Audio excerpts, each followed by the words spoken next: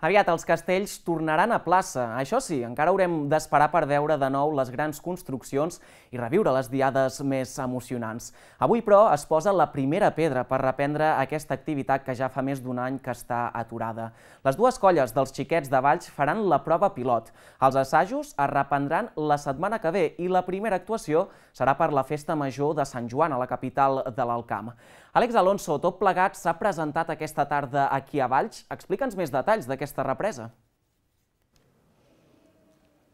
Bona tarda, Jordi. Doncs primer de tot serà la primera i de moment única actuació. Eh? No, no vulguem córrer molt més perquè de moment el que sabem segur és que el dia de Sant Joan, 24 de juny, una del migdia, hora tradicional de la Diada de Festa Major a Valls, hi haurà dos pilars de cinc, un de cada colla dels xiquets de Valls aquí a la plaça del Blat.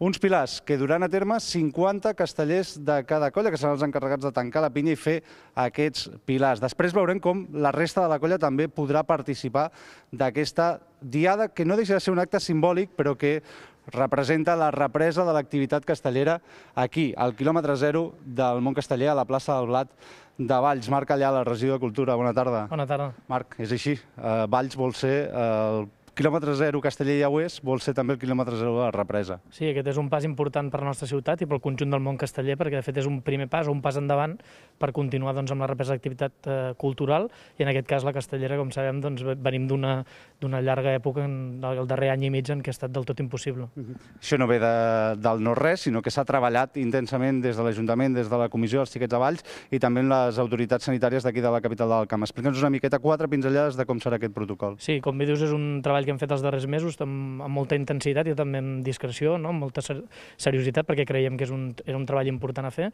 i, com bé dius, eh, ha estat acompanyat, en aquest cas, pel Pius Hospital, com a hospital local, no? que acompanya aquest assaig clínic, però també, en aquest cas, doncs, per, per diferents departaments, no? salut, interior, cultura i, òbviament, el treball conjunt no? de l'Ajuntament, en aquest cas, amb les colles. I consisteix, bàsicament, en quatre assajos previs a l'actuació que tindrà lloc amb motiu de Sant Joan i en aquests assajos previs hi participaran 50 castellers de cada, de cada colla que seran tastats no, en aquest procediment abans i després de, dels assajos per arribar a aquesta actuació que serà doncs, l'execució de dos pilars simbòlics que seran doncs, aquest primer pas no, endavant en aquesta represa que deies a la tornada dels castells a plaça, no? tornar a plaça després d'aquest de, llarg període. Mm -hmm. Només una molt ràpida. Públic. Uh, hi haurà públic, el que encara hem d'acabar de veure exactament com es compleixen les restriccions que hi hagi en aquell moment. Sí, un aspecte important que han remarcat sempre les coses i que compartim des de l'Ajuntament és que, òbviament, doncs, els tiquets a Valls són no només els que podran fer aquesta prova, sinó el conjunt de les dues colles i, per tant, el públic que assisteixi a la plaça serà també integrants de les dues agrupacions amb camises, són també participants i membres d'aquestes colles i, per tant, formaran part doncs, també d'aquest acte simbòlic perquè òbviament, entenem que el món casteller som tots també, no només els pocs que per limitació doncs, participin del, de l'assaig. Perfecte, Marc, moltíssimes gràcies. Amb el regidor de Cultura dèiem, eh, l'Ajuntament de Valls i les dues colles, acte simbòlic, Albert Martínez, però ha de, ha de simbolitzar moltes coses, aquest acte simbòlic que hi haurà aquí el 24 de juny.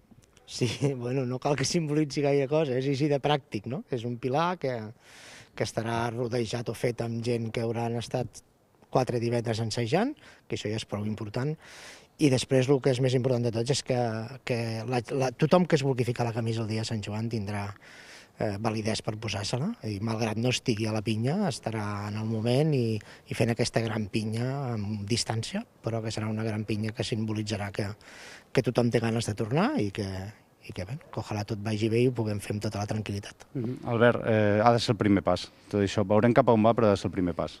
Sí, sí, sí. A més, molta il·lusió i molt emocionat perquè això sigui així. Ja vam fer una crida de que no, no els castellers sols no, no, no ho tiraríem endavant, això, que teníem que tindre entitats que, que volguessin que ho féssim, que, i l'Ajuntament de Valls ha fet un pas molt important, eh, l'Hospital ha fet un pas fabulós perquè, perquè tindrem una, un, un, un nosaltres hem estat lesionats, ara sortirem a, a fer una cursa molt suau i tranquil·la i no la podem fer per un camí ple de pedres, sinó en un, en un, un lloc recte, sense desnivells i amb tranquil·litat, i això el Pius ens ho donarà. Perfecte, Albert, doncs moltes gràcies. Ho deia l'Albert, eh? Uh, marcar, amb un camí marcat i un camí que porti a allò que volem tots, uh, Jaume Martí, cap de Colla de les Joves, allò que volem tots, veure castells, i això per la Colla de Joves també entenc que és molt important poder ser aquí el dia de Sant Joan. Clar, per nosaltres és, és, és una passada poder tornar a fer castells. Uh, sí que serà un pilar simbòlic, uh, no es pot dir que sigui una actuació castellera, però crec que és un pas molt important pel món casteller i per les altres colles d'ajuntaments que, que es vulguin sumar doncs, amb aquest protocol que, que s'ha treballat també. Uh -huh. uh, el proper pas és omplir local. Sí, home, i tant. Uh, D'això crec que en tenim tots moltes ganes. Sí que hem anat treballant amb la canalla i, i hem pogut fer feina, però ara és quan, quan comença la cosa de veritat. Perfecte, Jaume, moltíssimes gràcies. A tu. Doncs ho apuntava només el Jaume, eh, per acabar.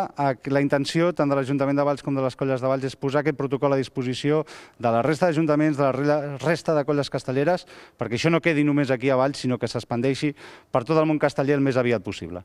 Doncs veurem què és el que passa. Moltes gràcies, Àlex, per portar-nos aquesta última hora.